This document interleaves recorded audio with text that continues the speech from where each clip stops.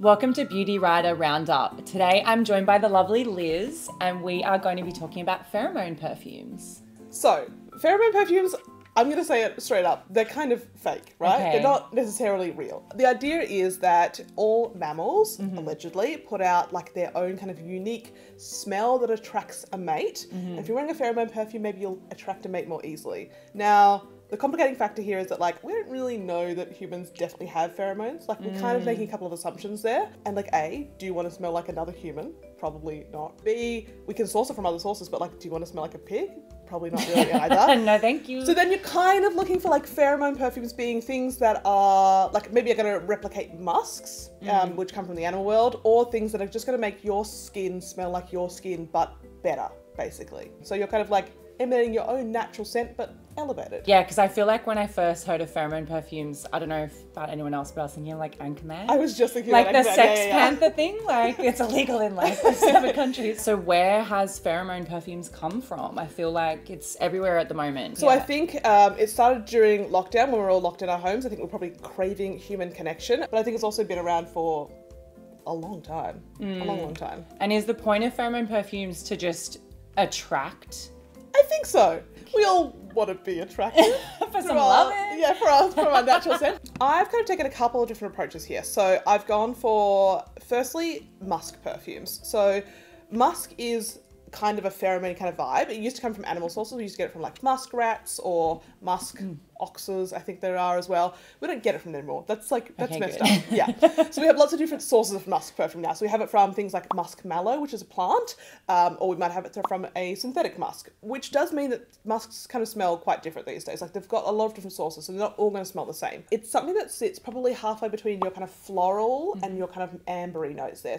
So Juliette mm. has a gun, not a perfume. Have you smelled this one before? I have. Okay. Yes. It's a bit iconic at, at Adore I'll say. It's one of our best selling perfumes for sure. Mm. Now, Not Perfume is called such because it only has one note in it. It's only got ambroxan, but ambroxan is kind of an artificial or a synthetic musk. So the idea with Not a Perfume is that it's supposed to smell different on everyone. Some people it smells kind of sweet, some people it smells kind of woody on, some people last for 20 minutes on, some people last for 8 hours on. Does that just come down to your like Your natural pH, yeah. So it'll be whether Okay. your kind of your skin is slightly more acidic, whether Yeah. it's slightly more basic, whether you're a sweaty gal or whether you're a dry gal. Uh, yes. I'm gonna do. I'm gonna do a spritz on me. Bring it on. Oh my god, that's a hardcore.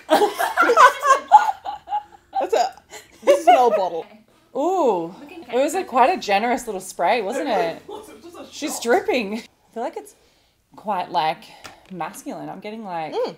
unisex vibes, which I really like. I find that this one smells on me like a little bit salty, which I don't think is necessarily a bad thing. Mm. When you think of skin scents, I think like sweat's a little bit salty, so it's kind of that kind of Yes, vibe. It's a little bit um like mineral almost. Mm. Very fresh. Just wearable, just super wearable. Yeah. Like it's not really like offensive or you know, it's just like kind of a nice no-brainer. Yeah, definitely. Fragrance. This is the kind of fragrance where people can't really quite place what you smell like. Ooh, we love It definitely sits quite close to the skin as well. Okay, so the next one I want to talk about is Thé Yulong. This Mm-hmm. is from Giorgio Armani Privé, which is their private collection.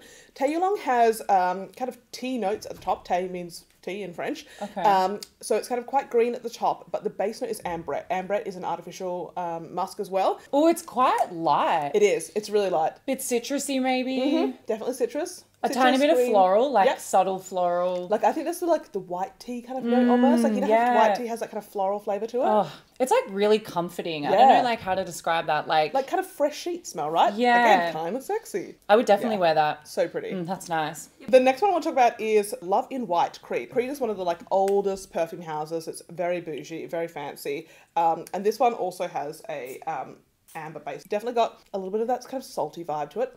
It's a little bit more like marine slash aquatic, I want to say. Ooh, okay. Kind of like a like an ocean thing, but still fresh. Oh yeah, I'm getting ocean because it's a little well. bit florally, Yeah. but it is. I, I'm definitely getting that aquatic like scent coming Yeah, through as well, yeah. which is a really interesting combination and it like kind of works. Yeah. yeah. but you can see how that would be like just like you just just you, right? Like Yeah. no clothes, just love in white. Oh, Okay, so let's go to something that's a little bit more clean sheets vibes. Okay. I have recently become obsessed with this perfume, so much so that Okay. I purchased it myself. Ooh. And I don't do that because I have a lot of perfumes.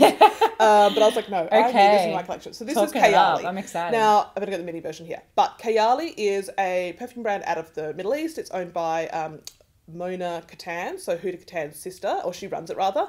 Um, and this is Musk 12. So this hmm. one is a really, I think, quite a classic musk. It's super duper clean. It smells like fresh sheets, Sunday morning, that hmm. kind of vibe, but hmm. also very human. I feel like I can't smell it now because we have so many perfumes in this room. Vanilla. Yeah, It's like caramelly, heavy. Yeah, almost. Not in like a Pete Alexander store caramel. Not like that. Not like that. Which I do like, but I'd like that this is a little bit more subtle. Yeah. You know. And I think kind of along the same vein is Narciso Rodriguez Poudrée Eau de Parfum. Um, This one is also kind of got that slightly sweet note. It's very floral, but it's almost like light. It's more like uplifting in a way. Like I don't really know how to describe that. Velvety jasmine, Ooh. powdery musk, and sensual woods. Ooh, sensual. Sensual.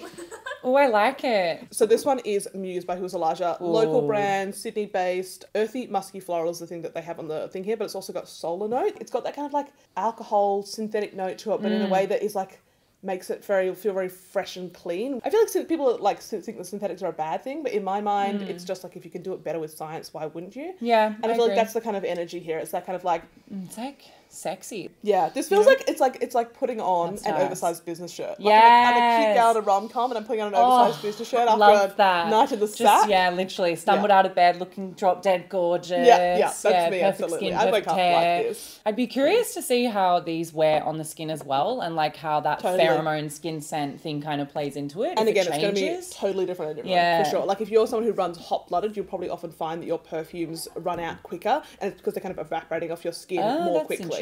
The other thing I heard the other day, and I don't know how legit this is, but I've heard a lot of Okay. people talking about the idea that you shouldn't spray your perfumes kind of above your chest. Like you shouldn't really do your neck because it's Okay. too close to your head, right? Like that means you're constantly overwhelmed by the scent. If you're spraying it on like you know your arms, your, the crooks of your elbow, backs of your Mm. knees, all that kind of malarkey, it's it's something you're gonna be, you're gonna be able to enjoy throughout the day. So you're kind of getting what everyone else is getting. The last one is a bit of a wild card as well. Now this one is Goldfields and Banks. It's called Pacific Rock Moss. Ooh. Super popular for them. I reckon it's their like second best selling perfume at the moment. Yeah, I love this brand because they're all about quintessential Australian like lo- like scenes Mm-hmm. Locations. and locations. Yeah, it's really you can really imagine it. I feel like Absolutely, they're really Yeah. popular overseas actually because they have that kind of really kind of close Australiana tie to them. Yeah, cool. Now this Love one is that. like pure sea salt and Okay. like light wood to me, Oof, in a way that is bring it on. oh so divine. A little bit of lime at the top there, maybe. Oh, that's like Isn't it a cocktail, Right? Like in a good way. like a skin cocktail. Oh, I like that. Yeah. It's like every time you smell it, you get like a different. Yep. So you're getting kind of through. green there. You're getting a bit of citrus. No, it's, got like kind of- that citrus, like lime. Yeah, I feel like it's got the like salty notes to it. It's got the kind Mm. of kind of aquatic marine notes to it, but at the same time, like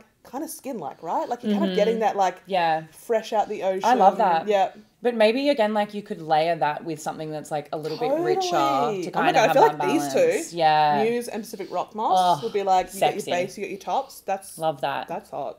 So in summary, I feel like I want to say pheromone perfumes a little bit gimmicky, maybe a Mm. little bit fake, and what you're probably looking for is something that is going to be either uniquely personal to you and works with your Mm-hmm. own kind of natural pheromone pH levels, blah blah blah blah, like not a perfume, or you're looking for something that's kind of replicating that musk scent. So you're looking for things like Kayali Musk or Narciso Rodriguez Eau de Parfum Poudrée. Or you're looking for kind of that salty, um, crunchy, fresh sheet kind of vibe, like Mm. Pacific Rock Moss or Muse. Thanks for tuning in, guys, and learning all about pheromone perfumes with the lovely Liz. Thank you for joining us today. Oh, thanks for having me. If you want to check out more videos, keep watching. You can head here.